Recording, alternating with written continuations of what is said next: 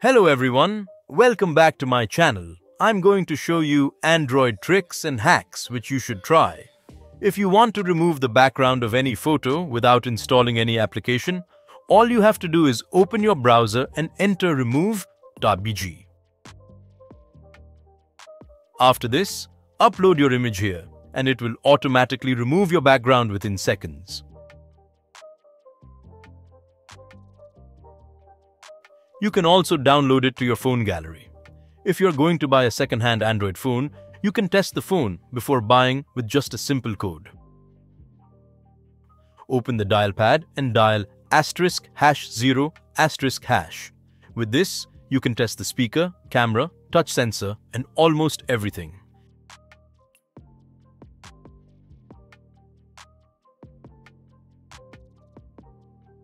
If you want to record a phone call or WhatsApp call, all you need to do is install an application called Recorder Cube ACR. With this app, you can easily record your phone calls, WhatsApp calls, Viber calls, and IMO calls by pressing on the mic icon. It's very simple and easy to use. The iPhone got a new feature recently called Back Tap, which lets you double tap or triple tap on the back to do an action like opening the control center, or even things like scrolling. This new app called TT Tap brings the same functionality to every single Android phone. It's a very simple app that just works. You can set an action for the double tap and the triple tap, and then you can use this to take a screenshot maybe or turn on the flashlight. It's very cool.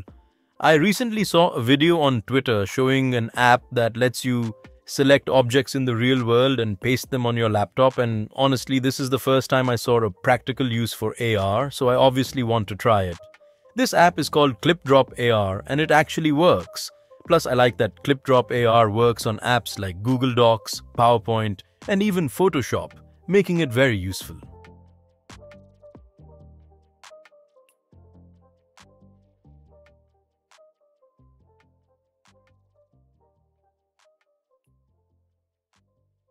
If you have forgotten the password of your Gmail account, you can easily see it on your Chrome browser. Open the Chrome browser, tap on the three dots icon, go to Settings, and click on Passwords.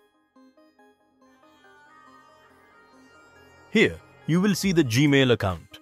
Tap on it and simply press the I button to see the password. If you automatically want to receive calls when you are connected to a Bluetooth device or using a hands-free, all you have to do is go to the dial pad and click on the three dot icon. Click on Settings, then click on Answering and Ending Calls, and simply enable answer automatically. Now you can automatically receive calls after 2 seconds when the headset or Bluetooth device is connected. We all use Google. But did you know you can also free up space from Google Chrome? Open the Google Chrome app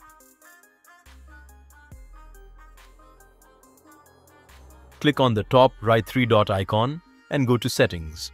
After that, click on Site Settings and then on Data Stored. Here you will see a lot of data. You can clear all site data to increase the storage of your cell phone.